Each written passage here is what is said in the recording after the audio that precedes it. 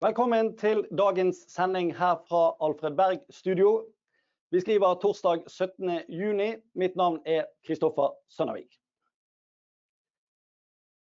Vi starter dagens sending med det vi i Alfred Berg synes var en veldig hyggelig nyhet som kom i forrige uke.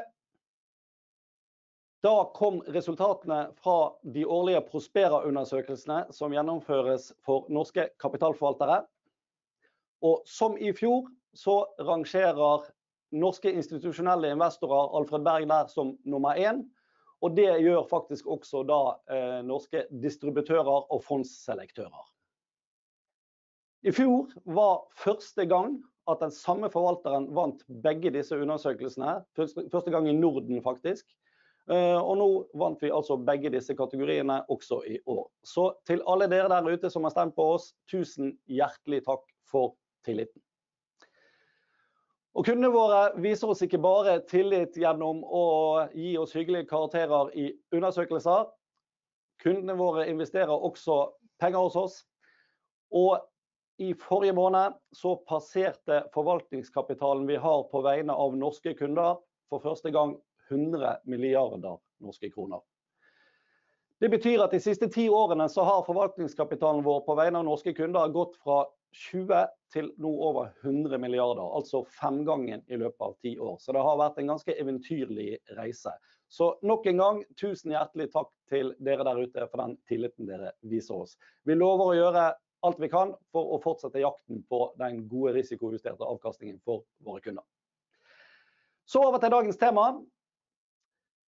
Vi brukte overskriften 10 milliarder i tapt avkastning hvert år i invitasjonen til denne webkasten. Tall fra Statistisk sentralbyrå viser at bankinnskudd har økt ganske kraftig siste halvannet året. Per utgangen av første kvartal hadde norske husholdninger bankinnskudd på 1464 milliarder kroner. Innskuddsbetingelsene på disse innskuddene er neppe noe særlig over Nibor-renten i gjennomsnitt. Og når vi da vet at Nibor-rentene nå er på rekordlave nivåer på all time low på i underkant av 0,3%. Og samtidig vi vet at det som tidligere ble kalt for pengemarkedsfond, som nå er likviditetsfond, gir en forventet avkastning rundt 1%. Får vi da et anslått tapt avkastningstall på 0,7% årlig, som på 1464 milliarder gir oss i kroner og øre tapt avkastning 10 milliarder kroner i året. Når jeg sier tidligere ble kalt pengemarkedsfond, så henspiller det på det faktum at vi for et par år siden fikk det som vi kaller for den europeiske pengemarkedsreformen. Denne ble tatt inn i norsk lov nå i år.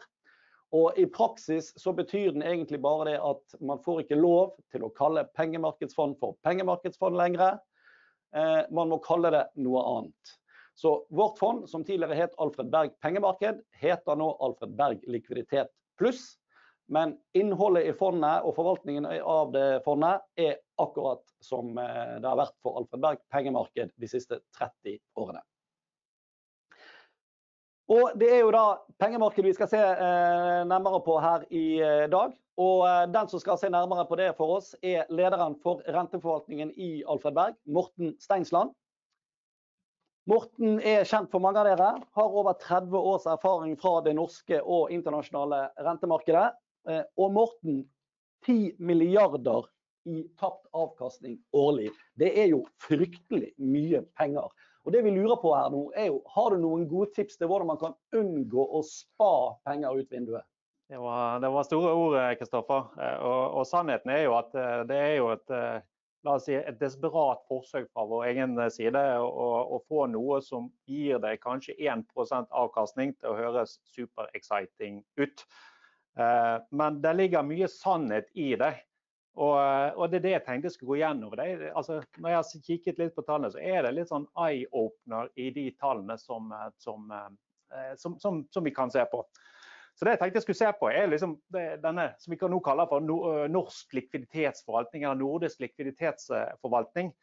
Der vi nå har 30 år med, med solid historikk. Sant? Da kan du si noe generelt. Hva er det som er egenskapene i dette? Og så kan du sammenligne disse egenskapene med det som vi kanskje primært sett fokuserer på i dag. er liksom alternativer, ha penger i bank. Og så er det sånn at okay, det er ikke helt likt å ha penger i bank, så det er jo selvfølgelig noen eh, risikoer, kanskje noen ulemper å være i fond kontra å være i banken. Skal se litt på det, og særlig se på det faktum at vi har hatt noen sånne røffe perioder. Se på 2008 og ikke minst eh, i fjor. Hvordan gikk det i pengemarkedet da? Um, og så skal vi litt tilbake igjen til dette med innskudd i bank. og Jeg bruker litt store ord, eh, tidenes eh, kollektive villfarelse. Og det er jo ikke som for å angripe innskudd i bank. Det finnes mange gode grunner til å ha innskudd i bank. Men poenget vårt er at veldig mye type mellomlangsiktig, langsiktig sparing foregår i bank til en veldig lav rente. Eh, og Kristoffer ga ett tall, jeg skal liksom vise litt nærmere, sånn at det kan regnes til, til, til faktisk et mye større tall òg. Eh, og, og, se litt, som, litt mer på dynamikken bak det. Og så skal vi avslutte litt med, med, med nordisk kontra norsk. Sant? Det er en nyvinning som vi skapte igjen for noen få år siden. To-tre år siden nærmer det seg i disse dager. Uh, og, og, og, da kan du si litt om hva er det du får egenskaper i nordisk kontra, kontra norsk. Så Jeg skal ikke bruke så mye tid på liksom, å gå gjennom dette med pengemarked som sådan.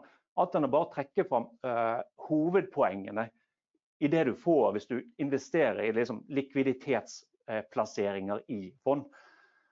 Det du får da, som, eh, som, faktisk er bedre enn innskudd i bank, er at du faktisk får god risikospredning gjennom at du kjøper mange banker. Du kjøper de beste kraftselskapene vi har i Norge, du kjøper norske kommuner. Du kjøper de beste industriselskapene. Så I så måte så får du bedre risikospredning enn å være i bank, eller være i én bank, som mange av oss gjør.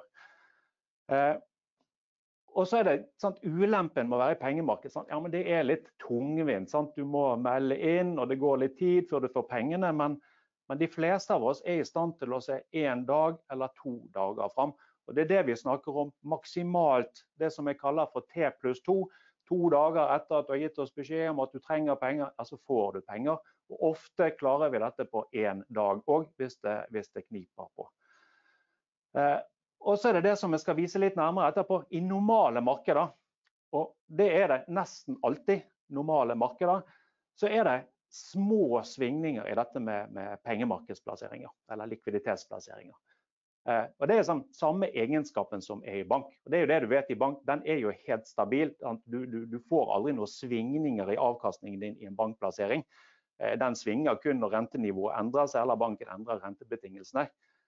Eh, og det er små svingninger nettopp fordi at ja, det er gode selskaper på korte løpetider. Og det er liksom kjernen i dette. Gjør at markedssvingningene blir små. Så har du dette med at ja, i pengemarkedet så har du dette med flytende rente. Og Særlig viktig er det i disse tider, og særlig viktig etter en dag som i dag, der Norges Bank kom ut og var egentlig mer eh, skal vi si, hawkish på godt norsk enn det de pleier å være. Sant? Nå kommer det renteøkning i september det er nærmest 100% sikkert. Og det blir nye renteøkninger i desember, i mars og mest sannsynlig i juni neste år.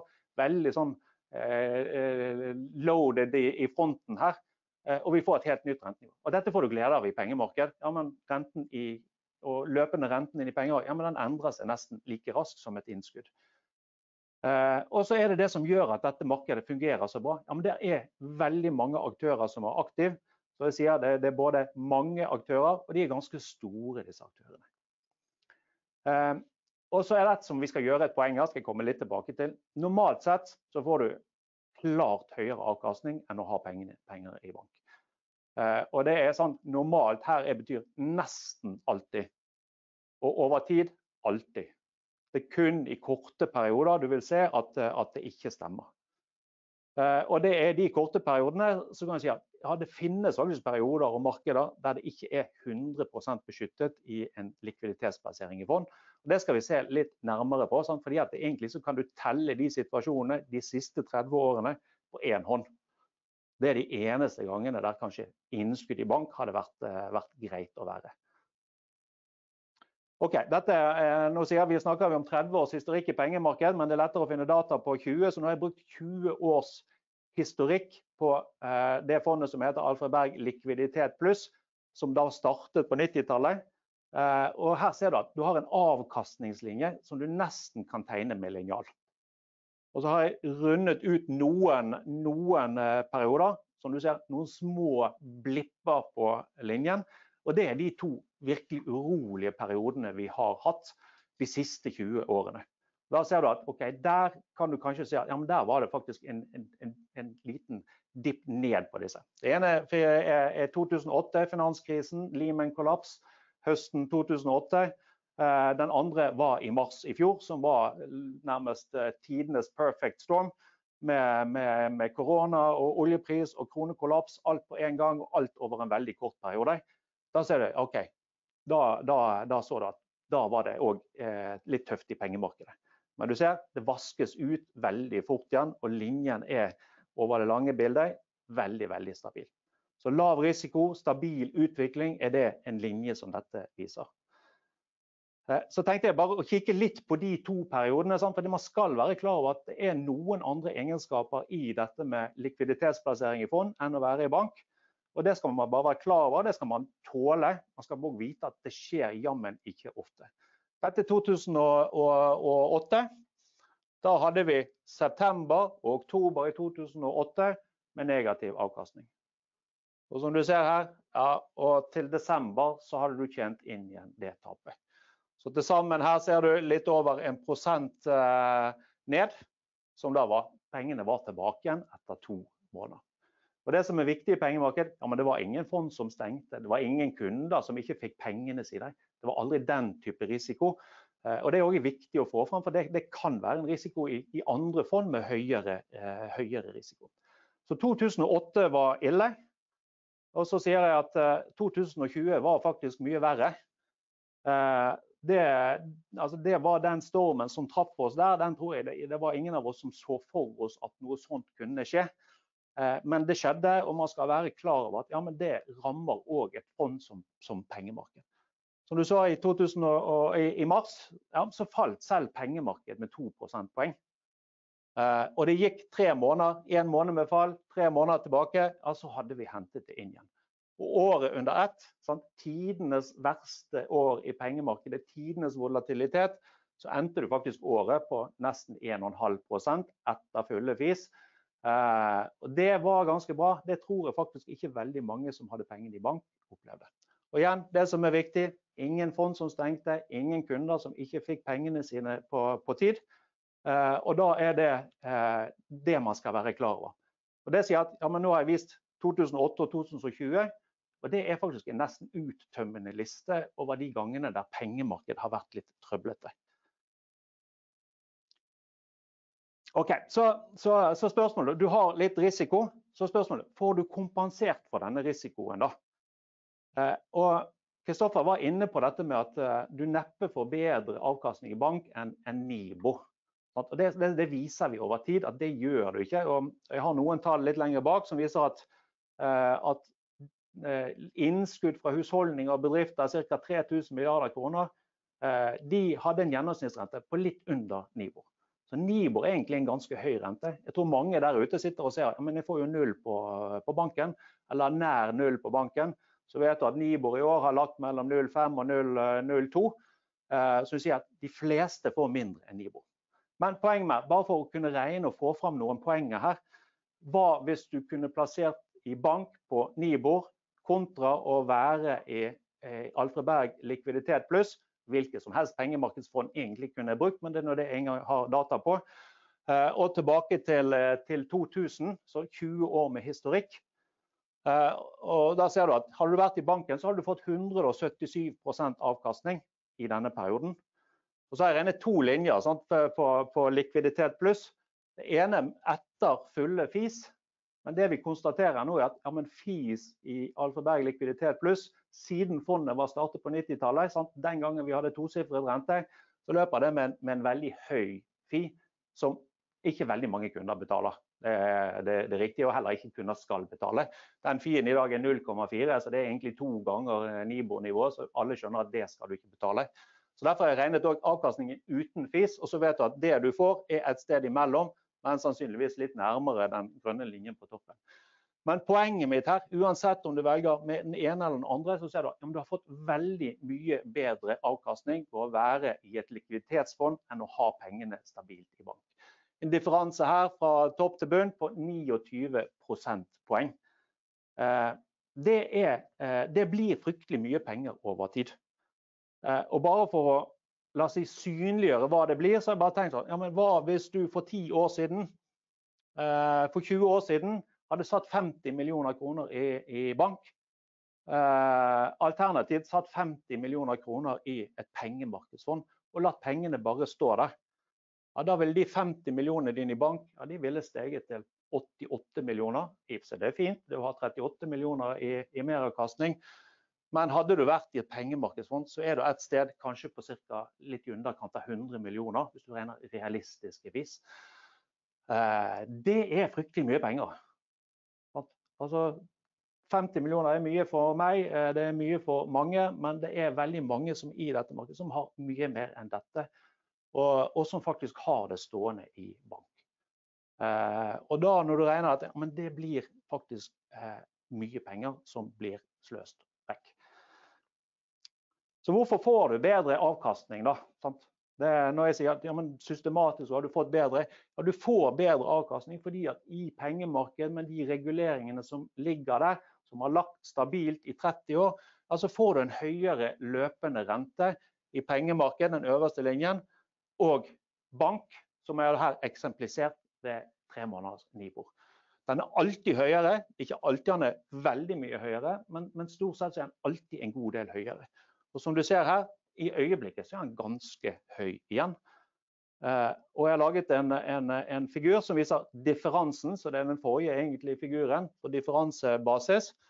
Der du ser at mellom 0,2 og over 1% er der det svinger. Og i snitt så har det vært en differanse mellom den løpende renten i et likviditetsfond og tre måneders nivå på vel 0,6% Den er enda høyere nå, så sånn sett kan du si at i øyeblikket så er det, er det ekstra god verdi å være i et likviditetsfond.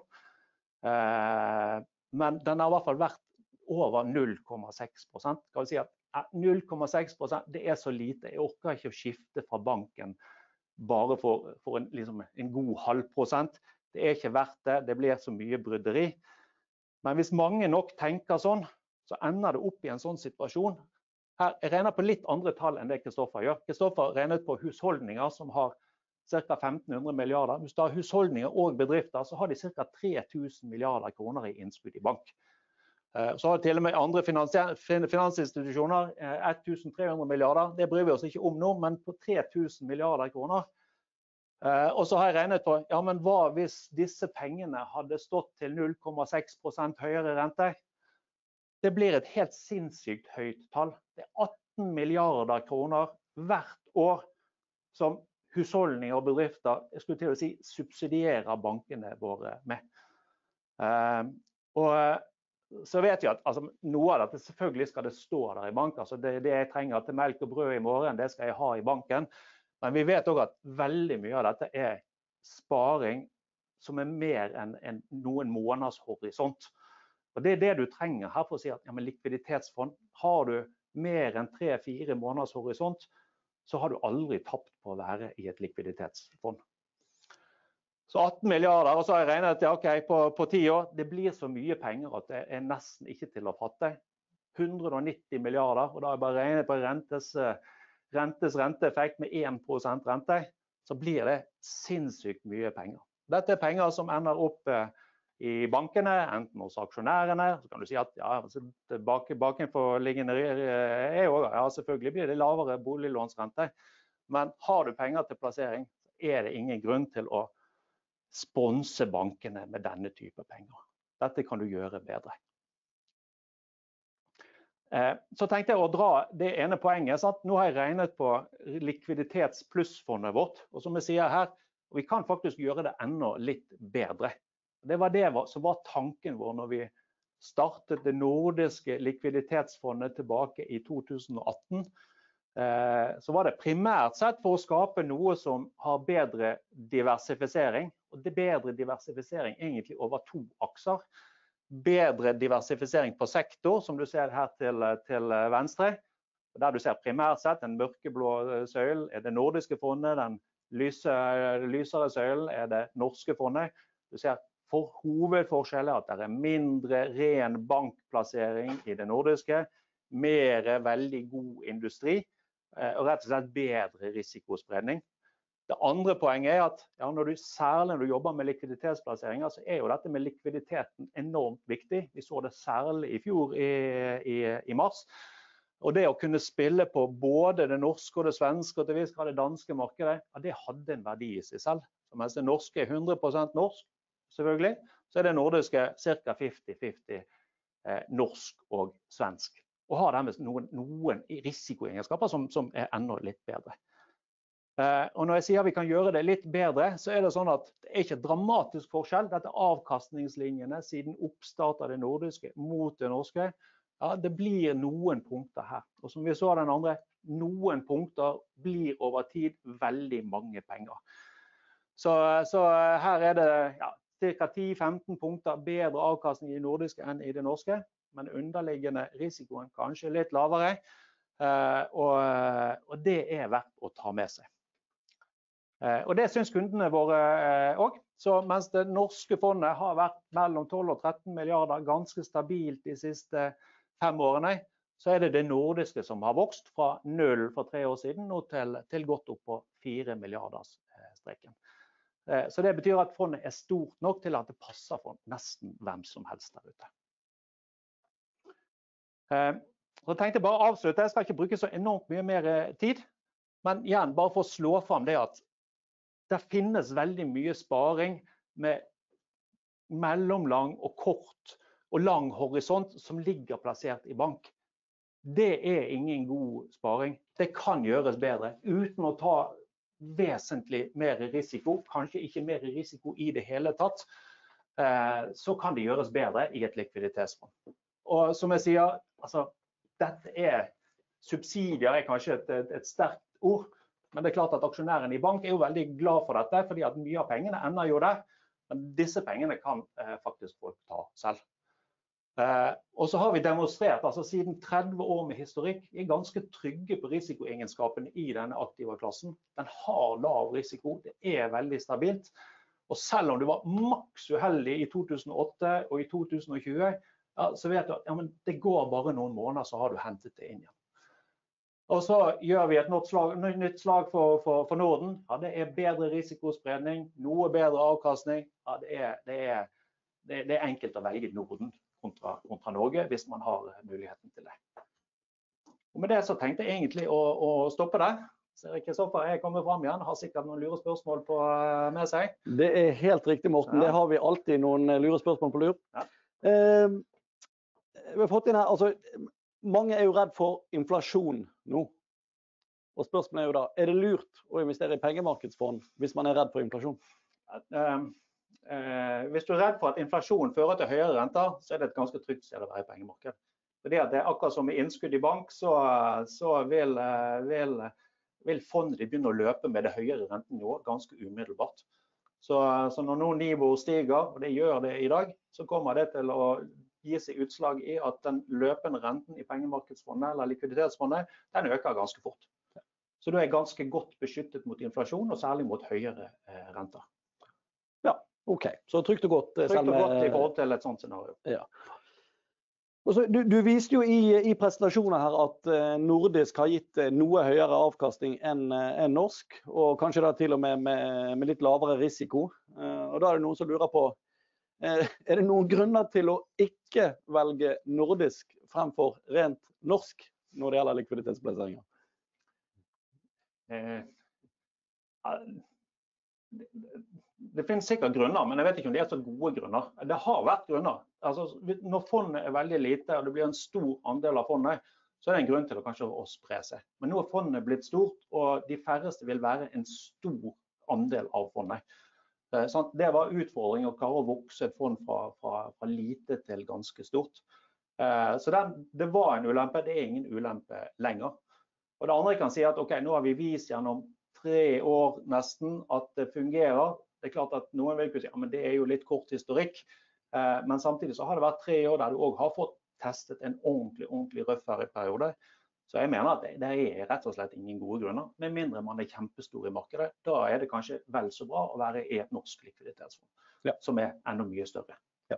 Og du, du, du, viste jo her på en måte, så du var innom, altså Vi hadde jo 2020, som faktisk var da største si, nedtrekket da, innenfor pengemarked og, og, situasjonen Nå viste du for det, for det, norske fondet her, og situasjonen for det nordiske var at det falt faktisk litt mindre. Det er riktig. og det Vi så det òg i den avkastningsgrafen, at det falt litt, litt, mindre dypt i det nordiske. Ja. ja. Så igjen, da det, ja, det, det peke på at det, det er noe lavere risiko. Imot, det er det i hvert fall ikke. Nei. Veldig, veldig bra. Eh, tanken var jo å gjøre en relativt kort oppdatering. Jeg tenker vi stopper der. Eh, kort oppsummeringen tror jeg da må bli det at eh, eh, høyere avkastning eh, og ingen har noensinne tapt penger hvis de har hatt lengre enn tre måneders, eh, tre måneders eh, tidshorisont når det gjelder pengemarkedsplasseringer, som skulle tilsi en risiko de aller fleste kan leve med. Tusen takk til Morten for godt faglig innhold som vanlig. Tusen takk til dere som så på. Neste sending her fra Alfred Berg blir vår eh, faste månedsoppdatering første uken i juli. Noen har sikkert tatt ferie allerede da. Eh, men hvorfor ikke ta seg en times tid til å se på månedsoppdatering på rente- og aksjemarkedet fra Alfred Berg når man er på ferie. Igjen, takk for i dag. Vi ses.